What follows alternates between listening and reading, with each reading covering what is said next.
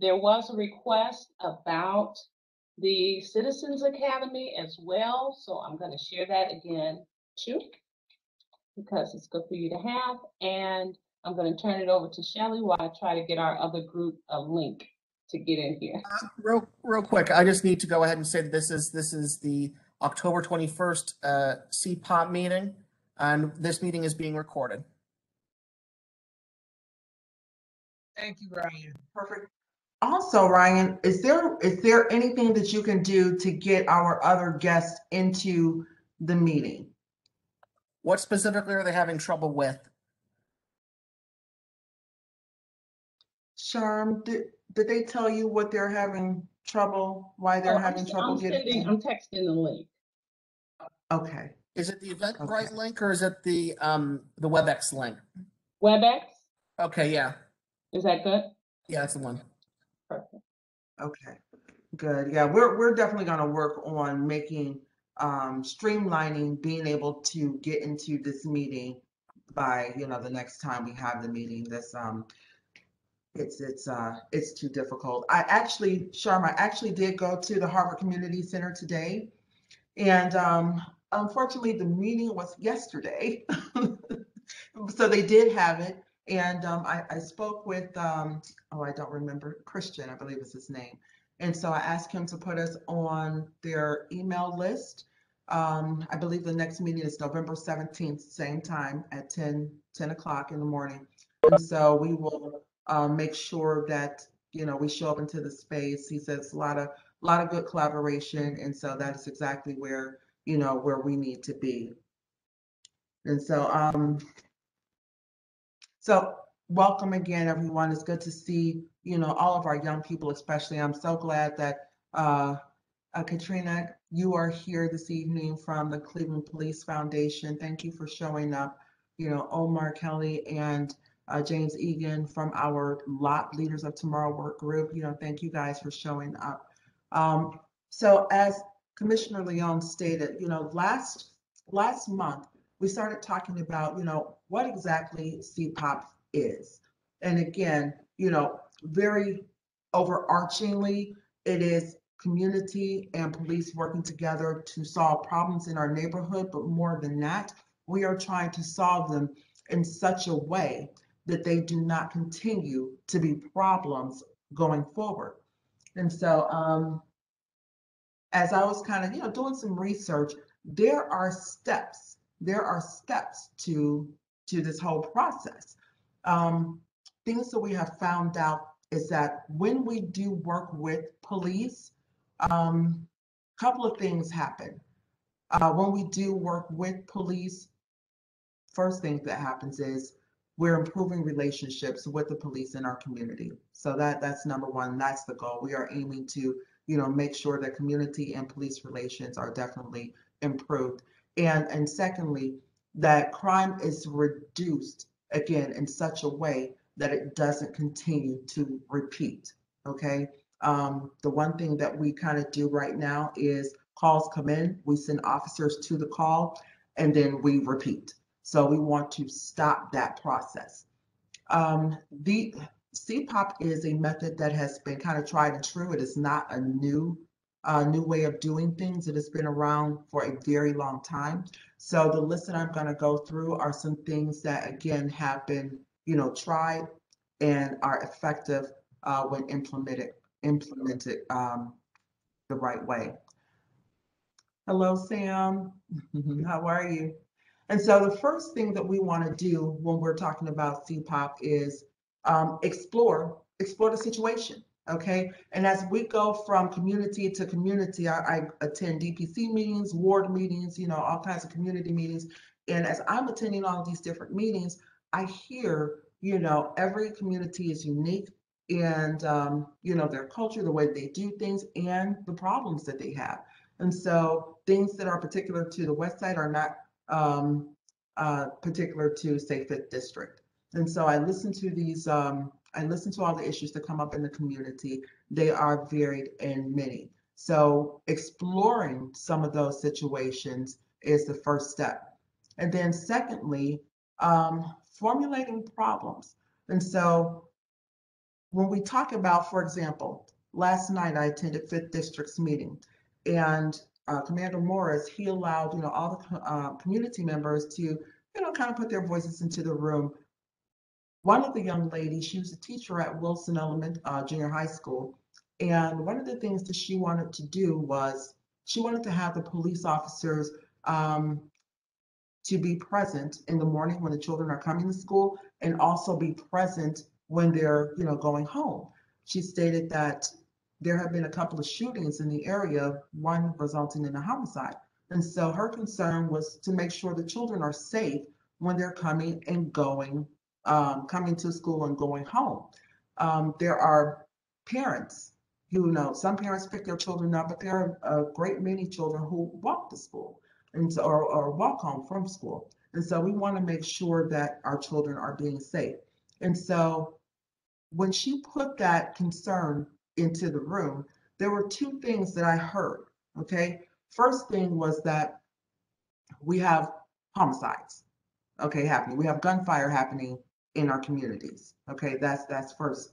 And so that means that um, there is something happening there that is um, that is amiss. Why do we have gunfire?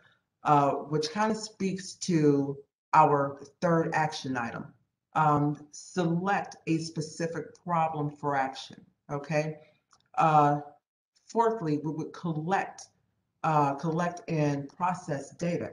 And so, in looking at the issue that uh, that teacher put into the room, again, she said gunfire was going off, homicides were happening, children were unsafe. So we would, you know, begin this collection process. And actually, I'm going to let um. Katrina speak a little more to it because they have actually kind of gone through these steps of CPOP in such a way um, that I think is dynamic and, and, and awesome. But I do want to just kind of, you know, give you an overview of what the steps are. So again, you know, collecting and, um, you know, processing that data.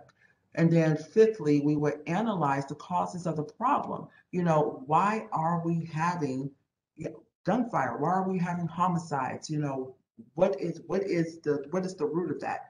Um, at a very superficial level, we have this happening. But what when we start to, you know, peel the layers of the onion back, why are we having these types of issues in the community? Uh, then we would develop, once we, you know, started to unpack the reasons why, we would develop a solution, develop a plan. Okay. Now that we understand why we're having these things and the, the, the issues as to why could be many and varied.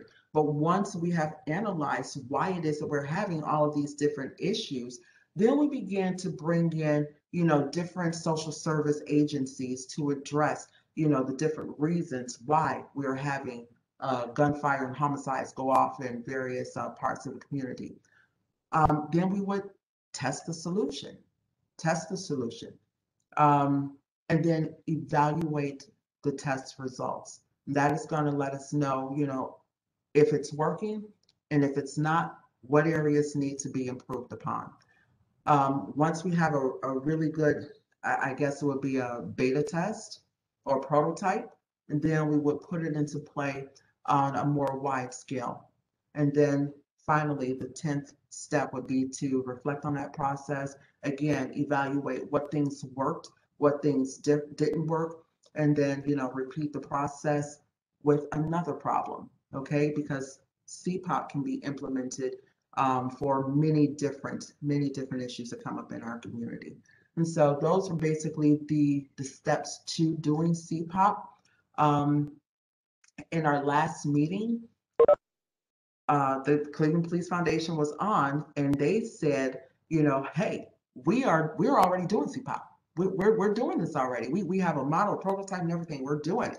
And so um, one of the things that we kind of wanted to do was to present to the community because I think CPOP is this this vague, you know, conceptual thing that nobody can really wrap their heads around. And so we wanted to give the community something very tangible, something very concrete, so that they can begin to understand what CPOP is and how we can use it to, again, create safer neighborhoods. And so with that said, I do want to give Ms. Uh, Katrina a chance to uh, talk about what it is that they are doing in the way of CPOP, because they are actually doing it um, with the project that they are currently working on. And so, uh, Katrina, if you would uh, take over and just explain to them, as you did to us, your Safe Routes project. Okay, hi everyone. Uh, my name is Katarina Smiley, but you all can call me Kat. It's okay. Um, y'all, y'all can call me Kat. I apologize for not having my camera on. I'm doing a couple things at once. Um, but essentially, I am I work for DigitalC, which is a nonprofit focused on digital equity in the city of Cleveland, um, in partnership with the Cleveland Police Foundation. And uh, as of last year, we received a, a grant through the Department of Justice to implement uh, safe routes to schools um, within the city of Cleveland. And so, what we've done, we've chosen three schools to sort of be our pilot schools um, for the first year, and then as with the with the third year, uh, we plan to expand to a fourth. Essentially, it's comprised of three major components. One, we have our community care teams. Our community care teams essentially are going to be a combination of high school and college um, interns who are going to help us to be dispatchers um, with the Safe Routes to School mobile application that we're also developing. And so, with that, we are using the CPOP model to help be a core component of our training for those community care agents. Um, and I'll get more into the, how this all works together in just a little bit. Um, I mentioned that mobile application. Um, this is really key um, because we recognize that um, though with safe routes to schools, some students may not may, may not necessarily be concerned with safety um, getting to and from school, but we recognize that it may be an issue once they actually get into school. And so, what this mobile application will do, it will help us to record um, issues within the student uh, community and help us to triage to existing organizations and partners who provide services who can help us to address these problems effectively. Um, I just want to give a quick disclaimer we're not trying to be a substitute for any mental health or behavioral health or law enforcement at all. Our goal is to sort of serve as that conduit um, and an advocate for students to help them um, make better informed decisions on their safety within and outside of the school walls. Um, and then lastly, we have our community programming, which will sort of house all these initiatives. So uh, we recognize that it's easy to say, okay, if we make this app, um, students will use it and they will record all their safety concerns and then safety will improve, violence will decrease in the city of Cleveland. We recognize that's not the case. So we have to actively work with students. Um, I'm a public health uh, graduate, so I tend to refer to that a lot. We need to have that prevention um, in order to have, in addition to the treatment measures that we're having. Um, so that after school sort of program will um, have academic support, mentoring support, as well as those community care agents to help in partnership with um, guidance counselors, safe, I'm sorry, say yes coordinators, and other in-school resources um, to help students um, improve safety within their communities. Um, so just looking at the CPOP model, we found that it's a really great basis. Um, we've added our own sort of cultural lens to um, complement that. And so I'm really excited to rolling that out and sharing the results with you all as it develops. Thank you so much. Oh, if you have any questions, please let me know. Thank you. And so, Kat, I do have a question. Um, right now, when we spoke, we were, sorry, I have a couple of questions. We were talking about, you know, partnering together, the, Cle the uh, Cleveland Police Commission and the uh, Cleveland Police Foundation partnering together. And now that I have, um, you know, some of our lot members on the call and other community members, you know, what does a, and, and I need the community to kind of weigh in on that. If we wanted to partner with the Cleveland um, Police Foundation, what does a partnership with them look like um, with Safe Routes? You know, um, I think it's a fabulous, fabulous concept. And um, I just want to know how do we how do we partner? Because Well, again, oh, I'm ahead. sorry, go ahead. Um, I think first that partnership would look like helping us to um, develop training for our community care agents. We really want them to be well rounded. So we are having them take mental health training courses um, as well as um, getting familiar with CPOP. But in addition to that, any existing resources, we know we're not the first ones to say, hey, we need to improve safety for our students. Um, so just really partnering together to, you know, stack hands and join resources, that would be super helpful um, in that way. Um, we also are really interested in rolling out that academic support and mentoring piece as well. Um, I don't have concrete details of what that all will entail just yet. Um, but I will say, like volunteers and folks that can come in and help with subjects such as, you know, science, math, reading, those are all very important, as well as connecting our youth to um, workforce development or other volunteer and civic engagement opportunities as well. That's something that we definitely need. And we also just want to just um, hear from community leaders on how we can best roll out this work. Um, and so I can drop my email in the chat if anyone's interested in sort of asking more questions or hearing more about it. Um, but ultimately, we just want to be um, a hub of resources for our students.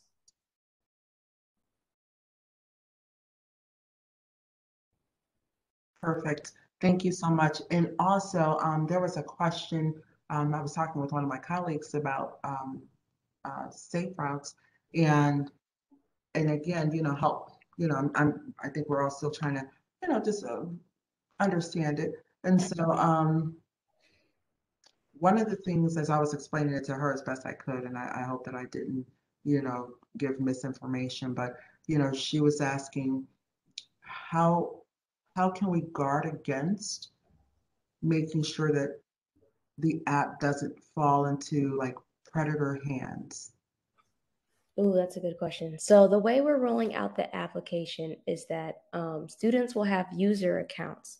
And so I'm not, my partner who is working on the technology piece isn't on the call today, but I'm just going to give a very general overview. Um, so essentially, we would like students on their way to school. So, for example, if they see an abandoned building, they're saying, hey, you know, every day when I walk to school, there's this person standing outside of here. It's making me concerned, da da da da. Maybe they don't feel necessarily comfortable relaying that information directly to a law enforcement agent or what have you. Um, but through their mobile app, they can anonymous, anonymously report an issue like that. Um, that issue will go to our uh, community care agent, um, who will sort of reach out to, to the student to follow up and get more information about it. Um, and then they would relay that information to the appropriate um, persons who are best equipped to handle it. How we will guard against predators, I would say that um, it mostly will be monitored by our community care team, um, and they will be in house. Um, they have a direct report with um, a member on our team who's responsible for managing them. And so that is something that we are very, very, um, it's very important that we do that as well as the data too, because we recognize that uh, students may or may not report sensitive information. And so making sure that that doesn't get into the wrong hands is something that we're working with our app developers to make sure that that doesn't happen.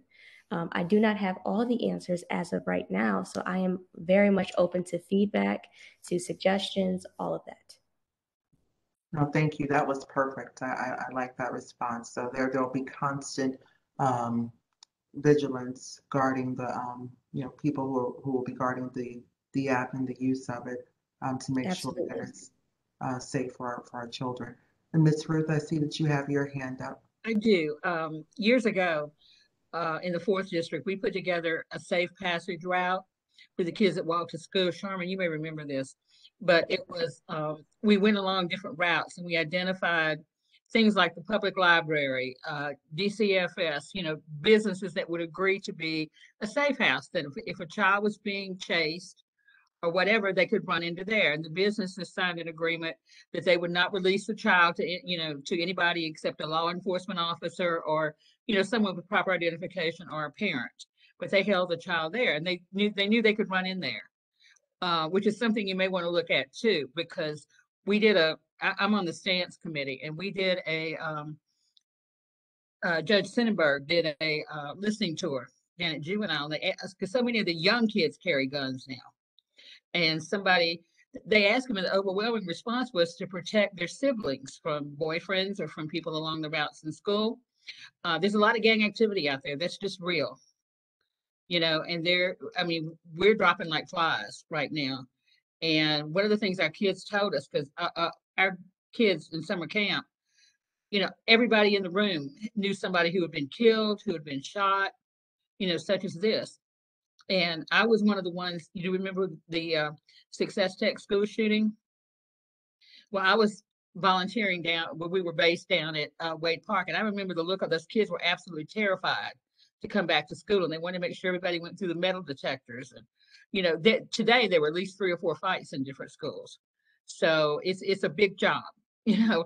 And I definitely would pull one of the things the, the safe house thing we put is the churches, you know, the religious institutions, you know, things like that to be safe spaces. And and the library was a safe space you know, and some things like that. Um, because these kids right now are scared to death, and a lot of the, some of the violence is going on because some of the kids don't take think they're going to live past eighteen, and so they're going to get what they can get, and you know, so I mean, it's bad. I mean, it's really bad. So we got to do everything we can. But good job with what you guys have done so far. I think that's excellent.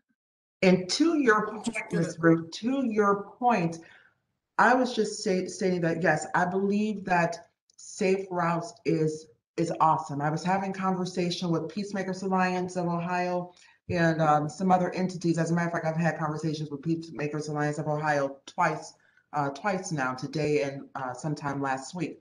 And they, speaking to what you were saying, were um, stating that lots of fighting uh, happening at the schools, rioting happening at the schools, lots of gun violence. Um, when I attend some of these DPC meetings, it's alarming the number of guns that are being taken off the street. And so for me, I want, I, I living in the community, I want to be able to live in the community. I do not want my children to um, have to have a, a, safe house that they can go to. Um, I, I don't. I want them to have full access to the entire community, full access to the entire community. So I believe that safe routes and safe havens such as libraries and churches. Those are great, you know, uh, first steps. Um, but ultimately, I, I, I believe the goal should be to ensure that my children can go outside and play, you know, two, three blocks away from me without me being very concerned about whether or not they're going to be hit with a stray bullet. Um, I need to be able to feel very safe and confident that I can send my my my seventh grader, my eighth grader, my ninth, tenth grader to school without worrying about if someone's parent is going to bring a carload of adults up to the school mm-hmm. and jump on them. Okay. I need to feel very confident that that does happen. I know I just had these conversations and it was breaking my heart and I, I just could not believe, I could not believe what I was hearing. I need to feel confident that if I live on 30th, that my son or daughter can walk through Morris Black without getting jumped and then come back around through Garden Valley without being stumped. I need to have access to my entire community. That is what I want. That is what I want for all of Cleveland, our children, our working class adults, our elderly. Everyone needs to be able to feel safe where they live. And so that that is what I would like for us to, you know, to have as a goal, you know, as as a work group. We need to be able to create very safe spaces. To um, Samantha, you said in our meeting on Monday. Um, I'm going to go ahead and jump in and make a point before it becomes stale. Okay. If I can. Go ahead. Um, just real quick, I understand there was, you know, we sort of talked about what about the use of predator, you know, people with this particular program or, or possibly programs like in the future, there was a bit of a concern about people like predators and that, and that kind of thing. It's important to remember that the vast majority of violence is interpersonal violence. It is far more likely that someone is going to have a have a have a parent or someone they know come after them than have a totally anonymous stranger go after them. And so I think that sometimes we often get bogged down into, oh, what about you know this? You know, there there could be people, you know, kind of you know unknown people kind of in the shadows it's it's it's it's sort of the devil you know the sort of devil present you know is is is the bigger threat in, in, in most of these circumstances i think that's what people have been saying has come out it's not it's a random stranger adult who who comes up in a pickup truck and just starts trying to abduct kids. It's a coordinated effort of people to hurt someone they know. So just I think that sometimes we we we, we tend to get stuck on that and just you know be aware that that's the, it does happen, but it happens with far greater less frequency than than it would be to you know you wouldn't want to like discontinue this program because you were afraid that that might happen. Like you think that it could do all this good with this some risk here. You kind of have to, you have to keep things proportional. That's all, Shelly. Sorry to interrupt. I wanted to jump in earlier, but I wanted that point before we like moved on entirely. Thank you, Ryan. Thank you, thank you. And so um, I do want to, you know, kind of turn it back over to, because I know that we're, you know, um, we have time that we need to consider. So I kind of did want to turn it back over to uh, any of the um, persons who are on the call if they had questions for Ms. Kat or about anything that has been said, or if you have, you know, something that you, you know, want to throw into the room as um, a potential area that we can look at to and begin to employ CPOP.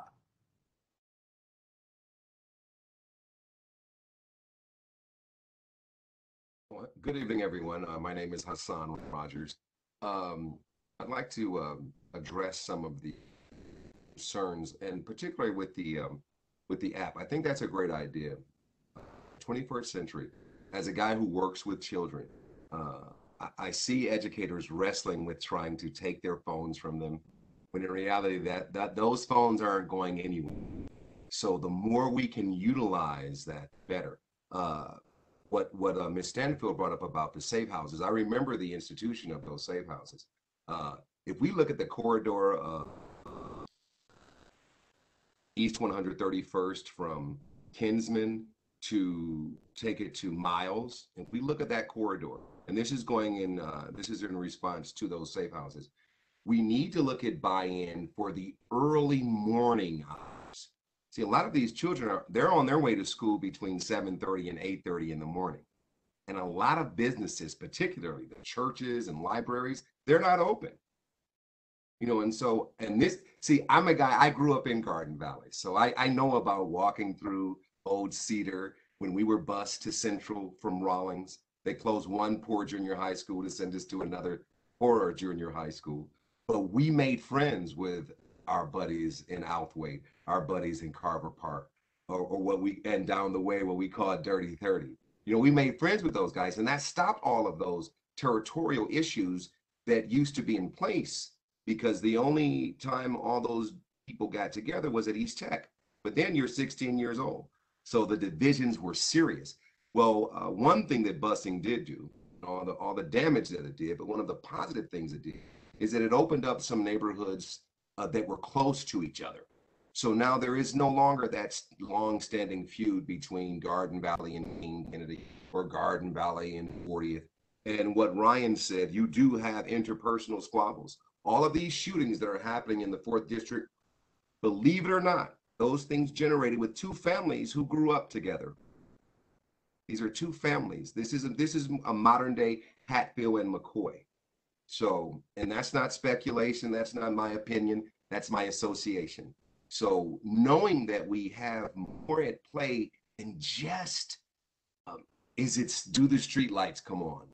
You know, like in, in our neighborhoods, the street lights aren't even on. So if you have to walk down East 108th Street between Sandusky and Union, it's pitch black. It's pitch black. You know, so you're a young lady, you're worried about the abandoned houses. I mean, I know we have gang units and that are, that are at the schools and I see the gang officers in the office with their feet up on the desks. If we're going to let that gang, make sure that gang unit has that app downloaded as well so that they can be in the troubled corridor. We need police presence in that corridor. We need grown up presence in that corridor. That East 131st corridor from, from Kinsman on down to Miles and I, I'm a West Sider now, but I'm born and raised on the East Side. Uh, also, that that that East 93rd corridor, where we had and we had women being taken, murdered, and left in abandoned houses. There are Catholic schools that are still abandoned and up on Sandusky, on Orleans, all along East 93rd, between Kinsman and Miles. So we need the city, we need this program to be in touch with City Hall because those abandoned schools, they need to be razed. The, the, go, go along those streets because the Catholic Church was big, but once the Catholic Church left, all those abandoned school buildings are still little kid who in places you shouldn't be. A girl walking home past that. There are some there are some stranger dangers.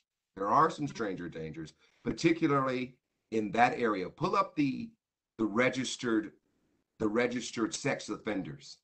You will see them.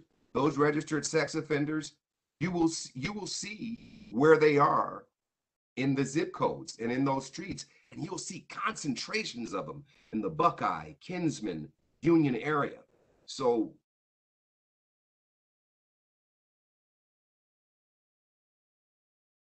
but the mental health facility that was housing and treating people, that's gone. So we do have more unstable individuals in the community than before. We do have less community engagement because of lack of funding. And the children are left to fend for themselves. So in this instance, if that app is going to let's not downplay the importance of that app. Let's really, let's really get, get buy-in. Look at uh, partnering with your radio stations. Children love music. Heck, I'm an artist. I love music. But you got to partner with the radio stations. You got to partner. Look, look at partnerships with any streaming service. They may be open to community relations and outreach, community relations outreach. We have to think in every way that children are accessing the broader world. So RTA has to be a part of it. Uh, the bus drivers, they have to be their eyes and ears. And we don't get any feedback from the bus drivers. Anyone in this group, have you got any feedback from Cleveland Municipal School bus drivers? I'm asking. No, see, so things like that, we have to be in touch with people who are on the ground. The bus driver, their eyes and ears, they're right there every day. So the people who apply for the school crossing guards, they that position, they need that app. The paraprofessionals, the teachers, yeah, you gotta deal with the teachers union, but it could be voluntary. They need the app. Everyone that has their hand and their eyes and ears related to the children, they need the app. I want the app. I think it's a great idea. Uh, I, I think this, it would be great if we could, I know it's hard and, and, and Shalina, I know you're, you're out here pounding the pavement. Um, don't be afraid at looking at, uh, some, if you guys have some resources, try to get over to Cory, try to get over to Greater Abyssinia, try to get over to some places that have access to the, to the community and you can use their platform as well. Because Cory, uh, I don't know if they still operate the rec center, but Cory was is a magnet on 105, just like Fairfax is a place, uh, you know, in, in that community. So we got to access the community centers. Um, because of COVID, we know we're not gathering the way we were. So the school is a great place to meet everyone. It is. It's, I have to second everything he said. Um, because we have. artist. in the schools with the children in my you know from from the city with the city at my heart so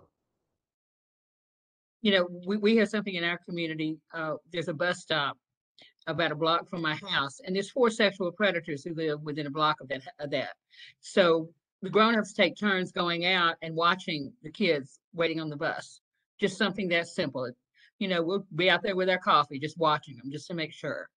Because it's really hard, you know, even though sexual predators are not supposed to live within a certain distance of a school, they do. And I have called them on the carpet um, at city hall and council meetings, everything else like that about why can't you make the move? And they, I was told, well, the law director has to make a move. And so far they've made zero of a move. So what does that say? And brother Hassan, you probably know the person I work with, Khalid Samad. yeah i love khalid samad I- I work with Peace in him, the give him a hug from hassan Okay. Mhm. I, I work with Peace in the Hood. We have an after school program up there, at, you know, on Mount Pleasant now. okay And we can't let our kids even go across the street to the needies anymore. i know i know Okay, I mean, th- they can't leave the building. I mean, it's, it's unfortunate, but they can't. because it's just too much right there.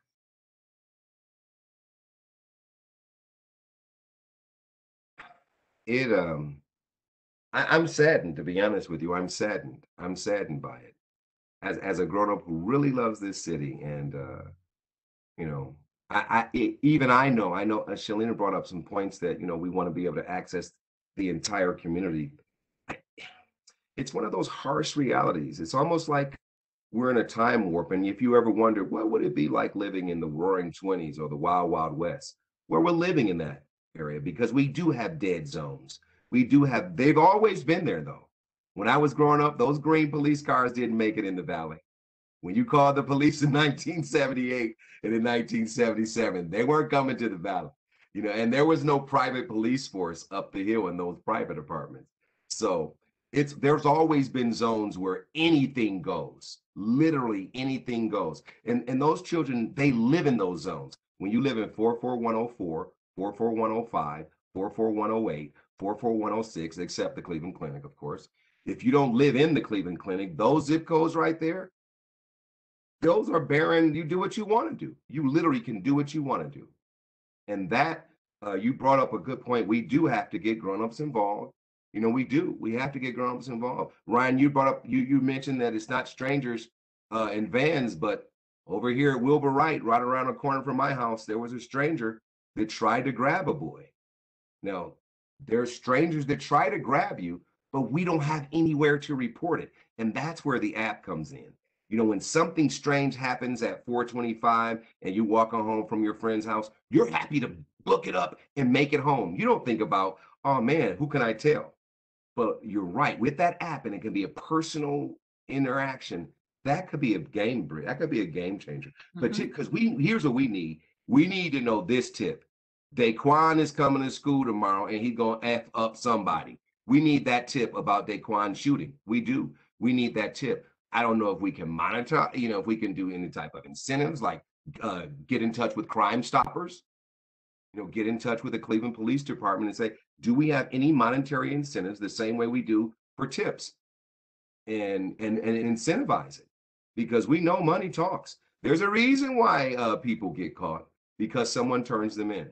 So so money talks. You know, it, it, it's uh, it, it- it's something that we we can't throw enough darts at. There can't be enough nets. There can't be enough ideas. All of it matters. I really do believe that all of it matters. Uh, when I sit on my porch and the little guy that rides his bike, he sees me and I say, all right, I see you holding that Willie a little longer, young man.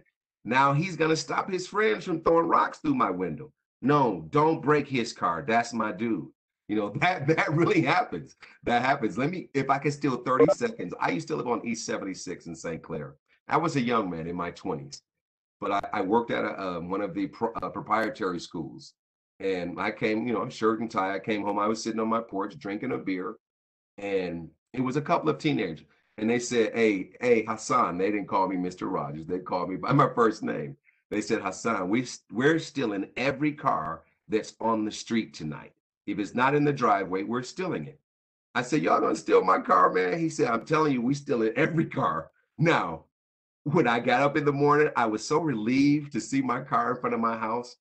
I got in the car, started it up, and was driving up uh, 76 and was ready to turn right on Norman or Corman. That's the name of it, Corman.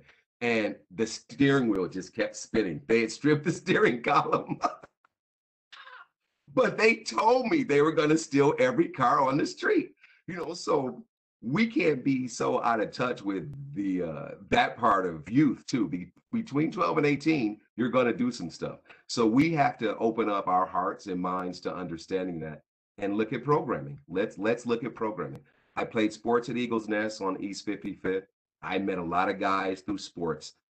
That's not going to go away. Guys like sports. We have to push that angle. I don't care if it's uh, let's play a kickball tournament in the snow. Make it a big deal. We have and we have to to grab it, grab what we have accessible to us.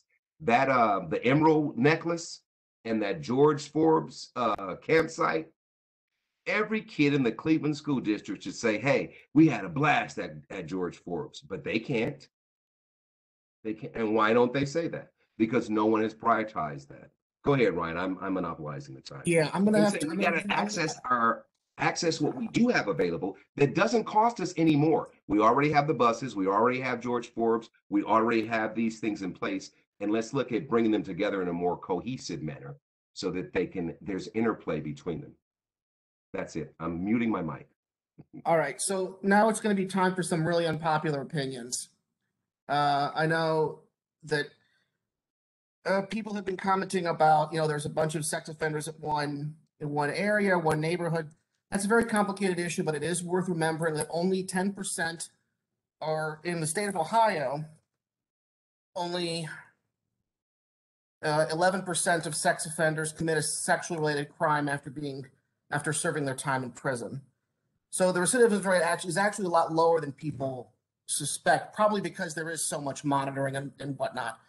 Uh, and I know that's a complicated issue, but I, I do think that we do need to be clear is about um, um, uh, uh, someone in the comments had said we know where the bad guys are and where they live. Well, we know where people who have committed crimes in the past live, but there is a U.S. Constitution and there are laws that say you can't just go and harass somebody or monitor them extra extra extra constitutionally because they have committed a crime.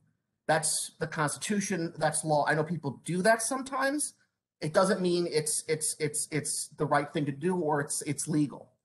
And the final Debbie, the final thing I'm gonna that's gonna be an unpopular opinion is um, children or kids today have a really really fine tuned bullshit detector.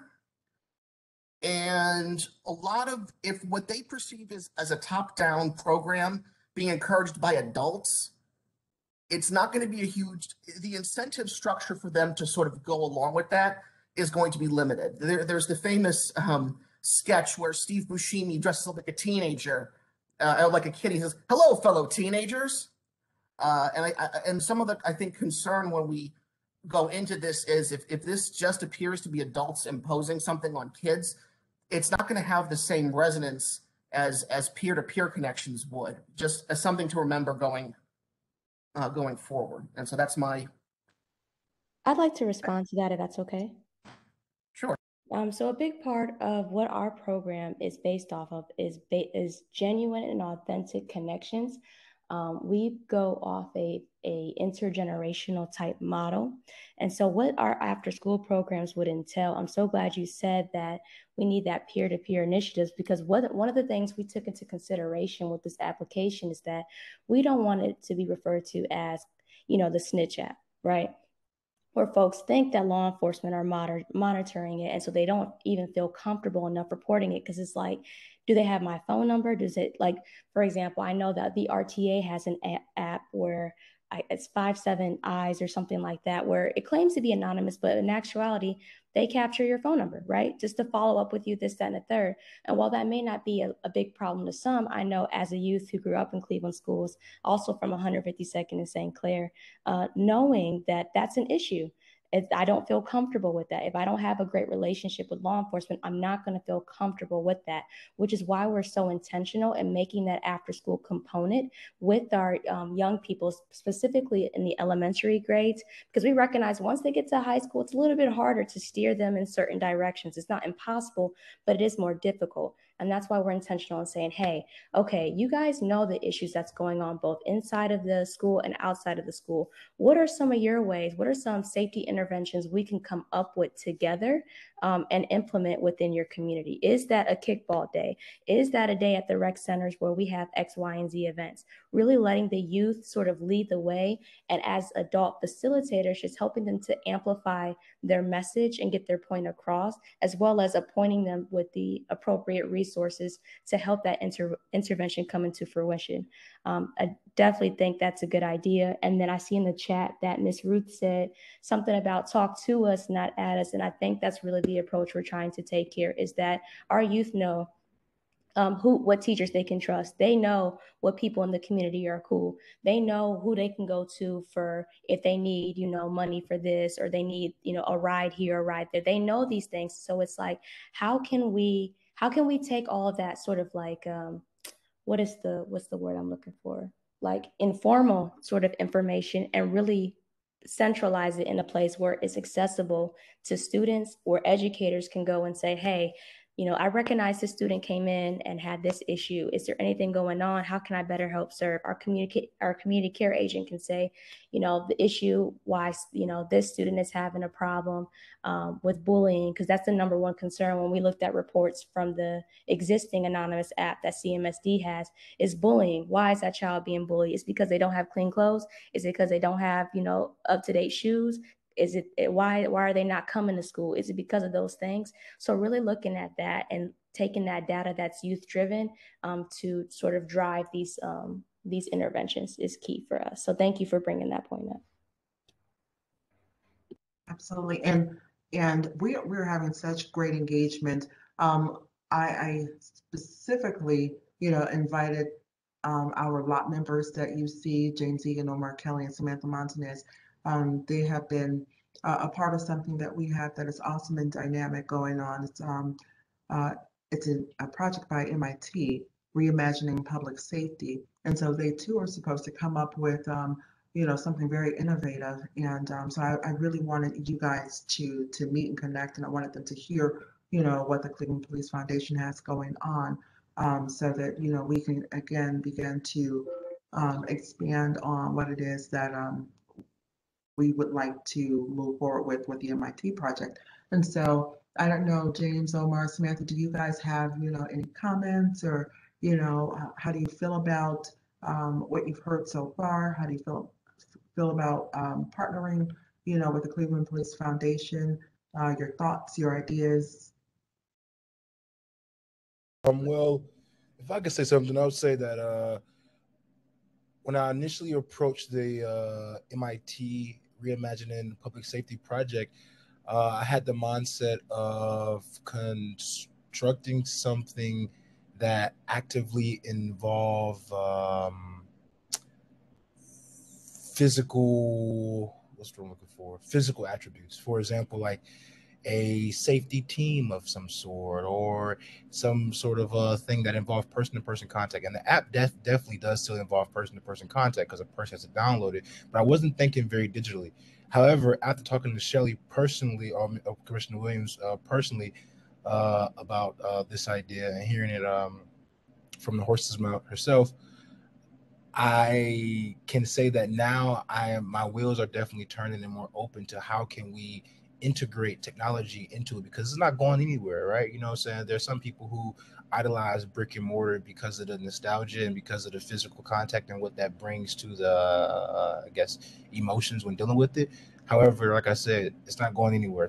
Technology, that technology that is. So, I definitely this idea has opened my brainwaves to start thinking about how can we incorporate technology into this because it's an asset to our community. So, yeah, thank you. Uh, thank you for sharing your greatness and inspiring me to think differently. Is is is my opinion on it and my thoughts and how I feel. Your mic's off, Shelly. I was just saying awesome, and then Lot members. uh, I, Sam, I'm sorry. Go ahead, Sharon. Oh, she called she called on me. She called me out. That was all. Um, no, what I was well, hi everyone. I know I've been like really quiet on this call. My name is Samantha Montanez, lot member. Um, I agree with Omar. Um, Katarina, your idea is amazing. And also, um, we've worked together before when you invited me over the summer to the Yes. I knew you Yes. look familiar. Yes. So I would love to actually set up to discuss this further because I'm also all about working smarter, not harder. So if there is already something that is potentially in works and thought and it can um, contribute to the mission, I'm all about collaborating. And again, like I said, working smarter, not harder.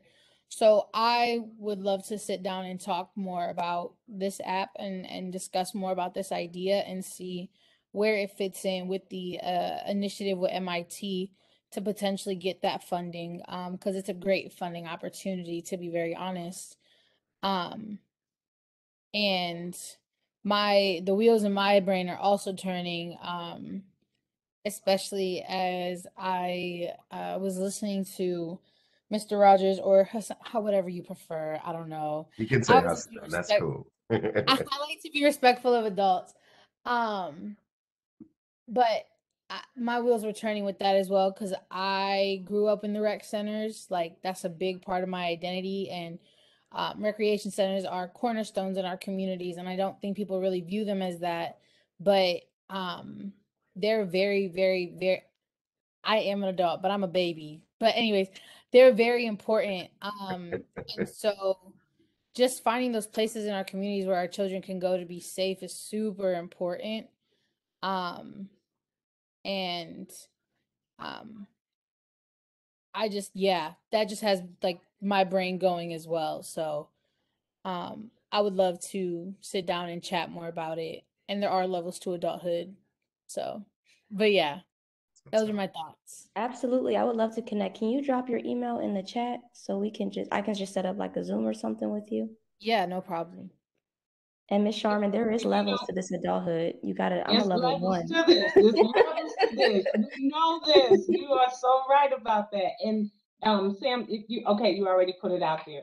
If that that's fine, she's online. Um, but if you wanted, if you wanted to send it, I could have I texted to Kat because um it's a public um forum. So um, James, Yep. Hey everyone. Uh, can everyone hear me okay?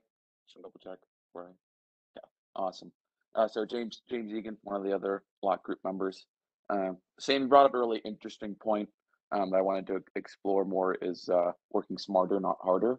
Because I think what we've seen a lot with the MIT challenge um, is a lot of business related training for starting a startup, basically. Um, and, and this is something uh, would interest me a lot more that's already established. It's a plan in place um, to actually uh, help. I know with the MIT challenge, uh, two things that would concern me with the the app is that I think this year's applications you can't really submit. Well, now that I'm thinking about it, they it could still be submitted for funding approval. They just couldn't go through the uh, incubator. You could still submit for funding. I believe that application is still open. I believe the application for that is due November 19th for the Yeah. actual thing. The incubator was an opportunity for uh for us to learn more and potentially refine an idea. So you didn't have to do the incubator to do the other. Right. So you still can um apply. Sorry. I didn't mean to cut you off, James. You're good. You're all good. Uh, help me out there. Um, so yeah, that that happened and how it's actually. Uh, I'm not sure how far along you are in piloting and where it's at on the ground. Um, but something seems really interesting. Um, I had the steps and something. Um, if you're willing to include me on that meeting, that'd be great. I know my schedule gets pretty busy, but Um, can I can I can I suggest something to uh Kat and the other lot members?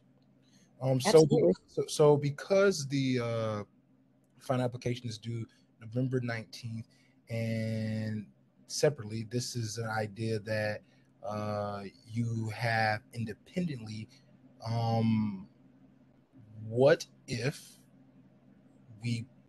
I want to. I don't want to use the word partner because that takes away the uh the almost the the work that you put in. This is this is definitely your baby, you know. But you know, this is a, I believe this is actually a, a really really great idea, and um, the more hands on deck, the more uh, outreach that we can have, and the more the larger our wingspan. So if you're interested in expanding this idea and adding team members, I'm very interested in incorporating this idea and and possibly getting MIT to fund it.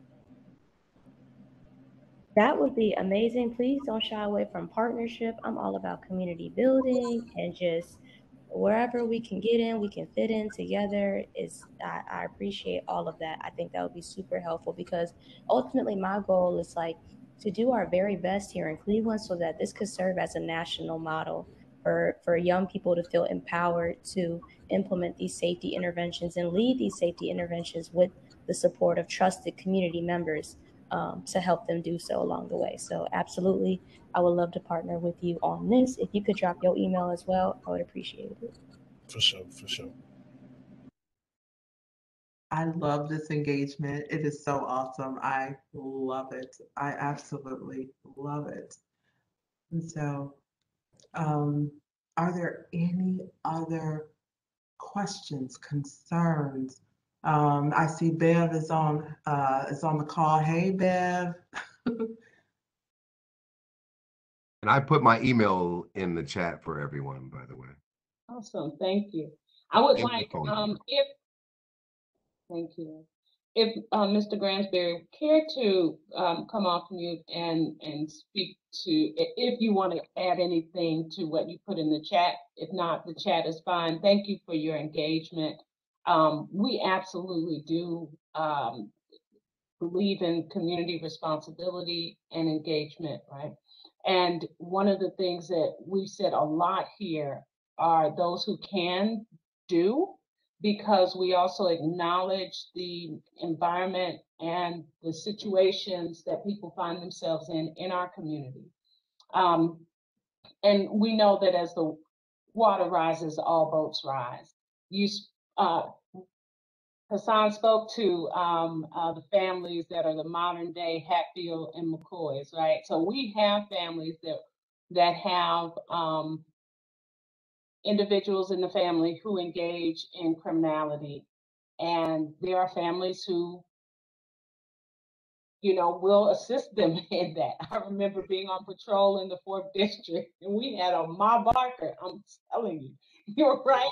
Um, she wasn't giving up her folks for nothing, and they were involved in everything. Exactly. And you'd be like, you not helping, ma, you're not helping, right? Um, uh, so, but folks who show up to do the work, and like we talked about, and that's why we really let the engagement go on because this is everything that we're doing. We're here as a community working on issues, and um, although you know the main engage, the main focus of uh, CPOP is to elevate the voice of the community in engagement and problem solving with the Cleveland Division of Police. We're not going to stop the momentum of, of community working together as well, because then we all get in where we fit in. Like Kat said, um, I'll often think about, because I'm a few levels up, you know, saying there's levels to this adulting thing. I'm a few levels up there, right? And so I have go- gone in the space where I really am okay taking some direction from younger people who are closer to the problems, who are closer to how younger adults or young people engage, how they get their information, how they share or get their news, how they share those things. And I know that even though, and Kat will tell you, Sam will tell you, I've always kicked it with young people because, you know, I like to stay informed, but I, I just also love the um, energy and the creativity and still the belief in so many possibilities and our greatness of young people. I still see through the, the, the views of a 50 year, 51 year old woman. And so what I can bring is that um, uh, stability, that wisdom, sometimes resources, right? So um, I like to be able to uh, give at the level that I'm at now and and be okay with saying I have some of some of these ideas. but sometimes when I share those ideas with young folks are like, excuse me, huh? what? Yeah, yeah, no, we're not doing that no more. We that we're not about that life anymore. And I just gotta be like, okay, well, okay, what we doing? How we doing this then? You tell me, I'll follow you, right? Um, and this is all a part of that. Uh, we are at six oh seven and let me see, there's more to chat. Let me check and see if there was anything that I missed. Okay, I'm gonna take Mr. Gransberry that you are good.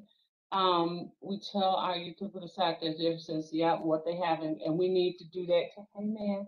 Um, so just so we make sure that we cross our T's and dot our I's with our responsibilities has there been anyone other than the um, police commission, uh, staff or commissioners that have attended any of the district um, um, meetings this past month. Anything you want to share, anything that we could take back or that you need assistance or advocacy in. I'll give a couple of uh, moments for anyone to jump in with that. And then uh, we'll go to the next thing. Unless there, and, and and if there was anything else about the conversation that's already been had that someone also wanted to piggyback on, that would be fine. Yeah, I. I just wanted to say thank you, uh, Shalina, for inviting me. And uh, guys, I'm gonna uh, I'm gonna go because it is football, and I got some stuff to do for the game. so I gotta go. I really gotta go. But I will say this uh, for anyone who would like to. One of the things that children do like they love content. And as an artist, a theater artist, and a video and all that, and voiceover stuff, you know, I'm big on content and creating and using our experiences to express ourselves artistically. So I'm all for creating drama programs and all that stuff. I will say this this is my 30th season. And yeah, Hassan costs. is a reason why he's you can hear it's a reason. We we're not we should not let costs bother us anymore. We have to begin to think top down as opposed to bottom up. So whatever it takes, eh, there there are grants, there are funds available we have to respect the individuals who we want to work with the children and realize some of us are out here every day. I can go to Mary McLeod Bethune. I can go to Alfred E. Bennett. I can go to East Tech because I'm out here every day in it. So, but but that cachet, I wouldn't mind cashing that in because there are children who want to express themselves. And we may not be able to prevent everything, but if we can help one person, just one cat, you know, that makes a big difference. I was walking Edgewater this summer, young man with his his beautiful uh, braids. He, he's all tall, you know, young. He, he walked over to me. He said, I heard your voice. I heard you laughing. You that dude with that drum and you tell the stories to the kids? I said, Yeah, that's me. That's me. He said, You have me at Mary McLeod. He said, Ma, this my boy, Hassan. and that just tickled me. That tickled me because he he's talking about a 2008 program. You know, that's that's a long time ago. So the work we do as grown-ups, it does resonate with them. And like you said, they can see through your bullshit. But I stood in free lunch line. So I don't have no problem resonating with everybody. I stood in free lunch line. I got my bologna on the hamburger bun. I got my pizza. I got my fish on Friday, all of it. and that nasty jello cup. so thank you guys for having me. And uh, I look forward to hopefully partnering with somebody duly noted, Mr. Hassan. That's what's up, sister. I'll talk to y'all. Thank you. Bye bye. Thank you for coming. Thank you for Thank you for coming. having I just want to chime in before you guys go. Um, most of my comments have been in the chat. So, Sharmini, thank you for inviting me to go live. Uh, again, I just want to reiterate there's some beautiful ideas out here. Um, I'm offering, because I'm a retired individual, I'm offering some of my time and energy to help support this platform. Uh, I've been in Cleveland for about 11 years now. I'm not a Cleveland native. However, I'm from Milwaukee, Wisconsin, and we share some of the same problems and concerns in the neighborhoods there, which I track on a regular. You know, and we're all looking to try and resolve some of the issues that are occurring in the major cities across the country. Um, one young lady said that the collaboration is something that may lead to something that we can get out there to the masses across the nation because I think that's important and essential. So I just, I just, I appreciate the time and energy that everyone here has put into this, and I look forward to. I put my email in there. I look forward to doing some things if you allow me to. Thank you for that. We got it. Believe that. Thank you so much.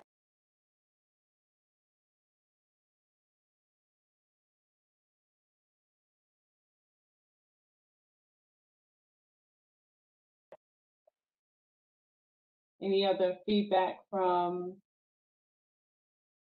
our And so- previous conversations or um, So- any district committee participation? Um, the only thing I, I kind of wanted to um, talk just a tiny bit about is um, in the way of, you know, th- we can partner so many different ways with uh, Safe Routes. You know, one of the ways that we kind of discussed um, was the, the ASU conference training to get that CPOP training actually up under our belts you know, so that, I mean, we, we, we ha- definitely have something very tangible here. We, we have CPOP rolled out for us. Um, but to have, you know, that, um, that academic piece behind us, I think that that would be something that I would, you know, like to see this, this group, um, you know, as a committee go through the training together. And I know that the training isn't until April, but maybe that is something that we can consider. That would be awesome. I know I can speak for my team when I say that that's a conference that we've been looking into like already. So I think that would be a really good um, resource for the team in developing this project.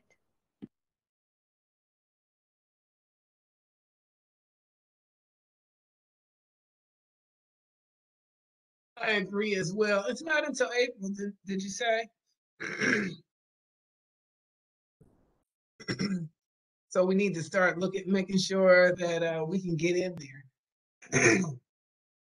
I think it'll be an excellent um, training because I believe we should have had that when we first started as commissioners.